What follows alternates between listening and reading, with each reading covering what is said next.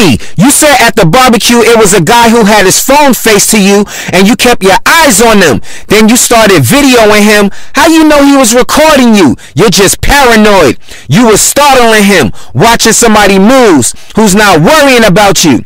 It's crazy how you know they was taking pictures of you and you say they don't have anything to do, but you're focused on people thinking they're after you.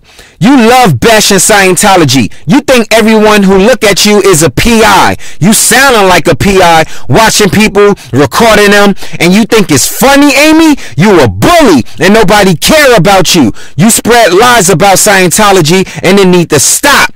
You on a losing team, you create lies, and you the only one who believe it. You a liar, you failed to do your job, then got kicked out in 05, and now want to harass the church.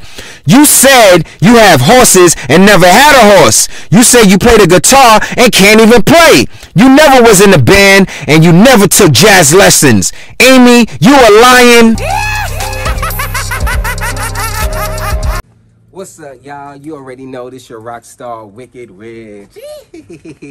y'all make sure y'all like, comment, and follow my channel. Want to support my channel? The link and all of the information is in the bio, alright? Y'all make sure y'all hit up the Celebrity Center to set up a meet and greet with me, your rock star Wicked Witch. Email seminars at celebritycentre.org. That's S-E-M-I-N-A-R-S at C-E-L-E-B-R-I-T-Y-C-E-N-T-R-E dot O-R-G. Alright? You already know. This your rock star, Wicked Witch. Welcome to Wicked Witch World.